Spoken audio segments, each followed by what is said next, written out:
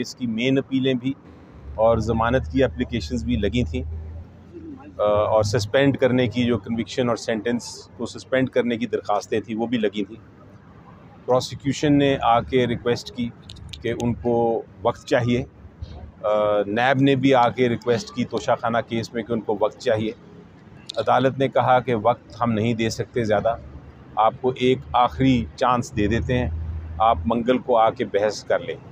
दूसरा अदालत ने यह कहा कि जहाँ तक ताल्लुक़ है सस्पेंशन और कन्विक्शन जो सेंटेंस की है उसके ख़िलाफ़ दरख्वास्त के बजाय हम मेन केस जो है अपीलें वही सुनना चाहेंगे। हम चाहते हैं कि वही वकील वही जो अपीलें हैं मेन उनका फ़ैसला हम कर दें और आ, हमें आप ट्यूसडे को बहस शुरू करें ताकि हम उसको डे टू डे सुन के आ, इन दोनों तोशाखाना केस भी और साइफ़र केस का भी फ़ैसला कर लें। तो उनको बताया अदालत को कि जनाब तोशाखाना केस में तो क्रॉस एग्ज़ामिनेशन करने की, जरा करने की भी इजाज़त नहीं मिली। और जो साइफ़र केस था, उसमें तो वकला को एक कमरे में बंद कर दिया गया और उनको भी किसी किस्म की जरा करने की या बहस करने की इजाज़त नहीं दी। तो ये बड़े अनयूजल केसेस हैं अजीब गरीब केसेस हैं।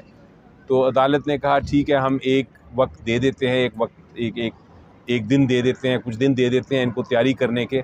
हम वो चीज़ नहीं करना चाहते जो ट्रायल कोर्ट ने आपके साथ की। तो इसलिए एक चांस देने में कोई हर्ज नहीं है। फाइनली अदालत ने यह कहा कि मंडे ट्यूसडे को इन मंगल को ये केस की दोनों केसों की समात होगी। तो इन उस दिन हम बहस करेंगे। सर जी बताइएगा प्रोसिक्यूशन क्यों वक्त मांग रही है? क्या कमज़ोर केस है उनके पास? या वो इस चीज़ को लटकाना चाहते हैं? क्या वजह है कि वो टाइम पे टाइम मांग जी देखें अभी यकीनी तौर पे जितनी उनको जल्दी नीचे ट्रायल में थी उतनी ही देर वो इधर अपील में करना चाहते हैं। लेकिन अदालत ने उनकी बात नहीं मानी और अदालत ने बल्कि बड़ा फर्मली बड़ा क्लियरली वाज तौर पे ये कहा है कि मंगल को बहस आप तैयार करके आएँ। अगर आपका प्रोसिक्यूशन टीम तैयार नहीं होगी हम फिर भी इस केस की समाप्त सुनेंगे। सजा मुअत्तल हो जाती है तो क्या इमरान खान बाहर आ जाएँगे या किसी और मुकदमे है जिसके अंदर गिरफ्तारी डाली देखिए, उनके ख़िलाफ़ तीन मुकदमे हैं इस वक्त जिनमें उनको सज़ा हुई है। बाकी जो जो केसेस हैं उसमें तो ज़मानत हो चुकी है। ये तीन केस एक साइफ़र है, एक तोशा खाना है और एक वो इद्दत वाला जो केस है। तो ये अगर दोनों केसों में इनकी सज़ा या इनकी कन्विक्शन मुतल हो जाती है या ये अपीलें ही एक्सेप्ट हो जाती हैं इन तो फिर वो सिर्फ़ इद्दत वाला केस रह जाएगा। और उसके बाद जब उसमें भी आपने देखा है कि उसमें भी कोई ऐसी गुंजाइश नहीं कि वो सस्टेन हो तो वो भी जब सेटिसाइड हो जाएगा उसको भी ख़त्म कर दिया जाएगा तो उसके बाद खान साहब इन बाहर आ जाएँगे। उसके बाद कोई हुकूमत तो रखना नहीं डालेगी अपनी तरफ़ से जिस तरह माजी के अंदर एक दफ़ा रिहाई होती थी दोबारा फिर कारकुनों को गिरफ़्तार कर लिया जाता था रहनुमा को वही पैटर्न तो नहीं अपनाया जाएगा? जी देखिए पहले तो ये पैटर्न अपनाया जा रहा था। केयर टेकर हुकूमत में। तो उम्मीद तो ये है कि इस हकूमत में जो इलेक्शन के बाद आएगी, उसमें शायद ऐसा ना हो, लेकिन कोई पता नहीं। अगर ये हुआ तो हमने तैयारी की हुई है उसकी इन लेकिन कोई और ऐसा केस है नहीं, जिसमें हमें कोई नज़र आ रहा हो, क्योंकि खान साहब तो पिछले सात महीने से जेल में बैठे हैं। तो जेल में तो आप कोई नया जुर्म नहीं कर सकते, जिसके ऊपर वो एफआईआर करेंगे।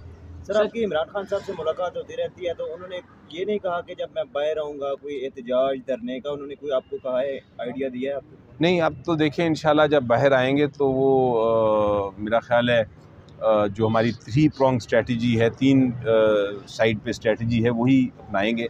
एक तो है पार्लियामेंट पार्लियामेंट में वो हम भरपूर जो हिस्सा है अपना डालेंगे चाहे हुकूमत बनाने में चाहे अपोजिशन में। इसी तरह हमने ये भी फ़ैसला किया है कि जो कानूनी रास्ते हैं वो भी हम अपनाएँगे। और तीसरी तरफ़ जो इशू है स्ट्रीट प्रोटेस्ट का सड़कों पे जो प्रोटेस्ट करने का हक़ है वो भी इस्तेमाल करेंगे। तो खान साहब ने यही स्ट्रेटजी बनाई है और यही स्ट्रेटजी अपनाएँगे। अगर तब्दील करने की ज़रूरत पड़ी ये स्ट्रेटजी को तो बाहर आके वो तब्दील कर सकते हैं। सर बताइएगा आज जो कौमी असम्बली का अजलास बुलवाया गया है कहा जा रहा है कि ये इन पर आर्टिकल छः लग सकता है इसमें किस हद तक जी देखें मेरे लिहाज से आ, ये अजलास जो है ये एक नामुकम्मल नेशनल असम्बली का अजलास है, क्योंकि जो रिज़र्व सीट्स हैं औरतों की और माइनॉरिटीज़ की, बहुत सारी बेतहाशा रिज़र्व सीट्स उनका फ़ैसला भी इलेक्शन कमीशन ऑफ़ पाकिस्तान ने किया नहीं। तो एक अजलास बुलाना जो नामुकम्मल है, और वो भी एक पार्लियामेंट्री मिनिस्ट्री की तरफ़ से, वो तो बिल्कुल गलत है। अब प्रेसिडेंट साहब ने इजाज़त दे दी है प्रेसिडेंट साहब ने इजाज़त दी है, उस लिहाज से उनका जो ख़त है, उसमें भी ये लिखा है कि मैं आपको इजाज़त दे रहा हूँ लेकिन उसका जो कंडीशन है, उसका जो एक शर्त है, वो ये है कि पूरी की पूरी जो नेशनल असम्बली है, वो मौजूद हो। तो वो शर्त पूरे किए बगैर ये सेशन को बुला लिया गया है तो मेरी नज़र में ये सेशन भी गलत है। सर